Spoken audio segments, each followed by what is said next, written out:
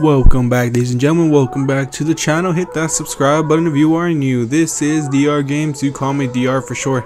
In today's video, I'll be showing you how to create a catfish two-way facilitating finisher in NBA 2K22 current gen. Okay folks, first things first here, you want to set your position to shooting guard. Pick whichever hand you prefer and whatever number you prefer. Now let's get right into the pie chart that we'll be using for this video today folks. Okay, ladies and gentlemen, the pie chart that we'll be going with for this video today will be the mostly blue with a little bit of shooting, so the mostly finishing with a little bit of shooting right here, folks. For your physical, you want to go with the very first one, the most speed. Okay, right here on your close shot, you want to max it all the way out at a 88. Drive in layup, max it out all the way to a 91. Drive in dunk all the way up to an 81 your standing dunk you want to skip, and also your post hook you want to skip. Down to your mid-range shot, you want to put it all the way up to a 81. Three-point shot all the way up to a 79. Your free throw all the way up to a 86. Get you the 16 shooting badges. Now onto your playmaking, you want to put your pass accuracy all the way up to a 78. Your ball handle, you want to put it all the way up to a 80. And in post control, you want to put all the web just until you get 15 playmaking badges at a 47. Now onto your defense. For your perimeter defense, you want to max it out at a 75. Lateral quickness, you want to max it out all the way up to a 74. Your steal, you want to put it all the way up to a 79. And your defense rebound all the way up to a 64. And the last bit onto your block to bring you up to 7 badges at a 50 block. On this build right here, you get 15 finishing, 16 shooting, 15 playmaking, and 7 defensive badges. Okay, for your body type, pick whichever you prefer, but for now I'll be going with the defined body type. For the height right here, I recommend going 6'5", because to be honest, you don't need that 84 ball control or those elite dribble animations. You can dribble perfectly fine without them, but if you do want them, you go 6'4", but if you go 6'4", and make it the same way I'm making it, you'll get a two-way slashing playmaker. Okay, for my height right here, I'll be going with a 6 foot 5. The weight dropping it all the way down to 179 pounds. Any less does not add speed or acceleration, all it does is lower your strength, so this would be the best weight at 179 pounds.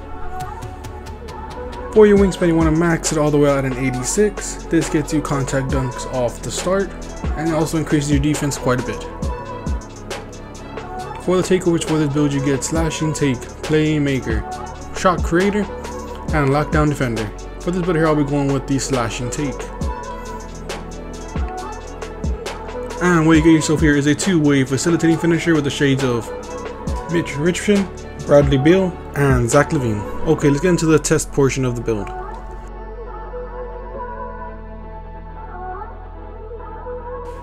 Okay, right here, you want to max all the way out real quick at a 99. Keep in mind that for your physical, they'll go up a total of plus 8 with a combination of Gym Rat and hitting 99 overall. If you do not know how to obtain the Gym Rat badge, there are 3 ways you go about getting it. Way number 1, become a starter in my career and win the NBA championship. Way number 2, hit level 40 in any season. And way number 3, go once a week to the Gator facility and complete all your workouts, get your extra plus 4 to your physicals. One quick note, if you do plan on hitting level 40 to get on all of your builds, make sure to have the quest claimed.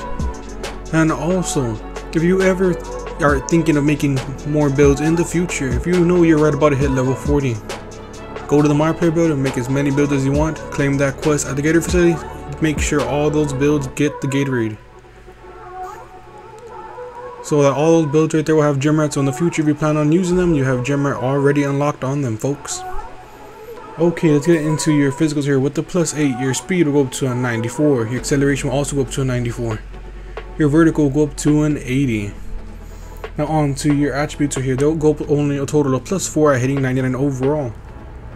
So your close shot will go up to a 95. Drive and layup up to a 95. Drive and dunk up to an 88. So you will unlock the Michael Jordan dunk packages. But off the start, you have the access to Clyde Drexlers and also contact animations.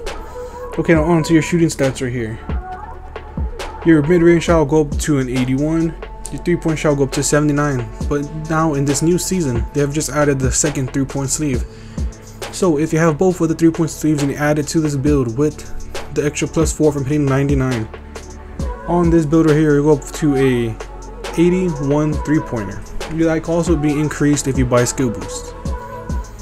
Your free throw will go up to a 90. Your pass accuracy will go up to an 82. Your ball control will go up to an 83. Your perimeter defense will go all the way up to an 82. Lateral quickness to a 79. Your steal to an 86 and your block to a 58. Your defensive rating will also go up to a 71, so you'll be able to help out on the boards every now and then. So on this build right here, you finish with 15 finishing, 16 shooting, 15 playmaking, and 7 defensive badges. Okay, now let's get into the badges for this build today. For your finishing badges, I recommend throwing on Limitless Takeoff, Posterizer, and Slithery Finisher as the first three. These three badges help a lot when getting contact dunks. And with your last three here, you can place them wherever you want, but for me, I'll be going with Fearless Finisher.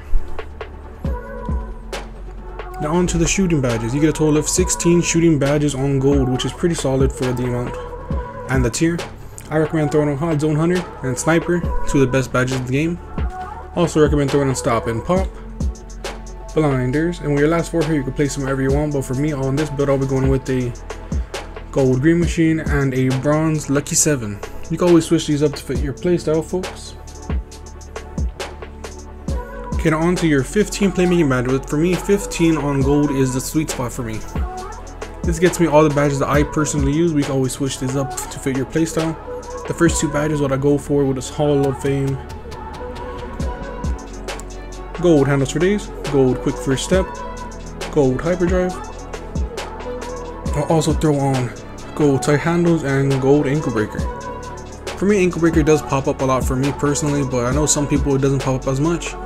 So you can always take that off and throw it on bullet passer, but this is how I would personally run it. You can always switch this up to fit your playstyle though. On to your defensive stats right here. You get a total of 7 badges on gold, so I recommend throwing on gold clamps, gold intimidator, and with this last one you can throw it on chase down, pickpocket, rim protector, but for me I'll be going with the chase down artist. Okay ladies and gentlemen, that is the video for today on how to create the two-way facilitating finisher in NBA 2K22 current gen. This build right here will get around a 79 three-pointer, contact dunks off the start, you also unlock the Michael Jordan dunk packages, you unlock a lot of dribble animations, you also have around the low 80s perimeter and lateral quickness. This build right here is an all-around build right here.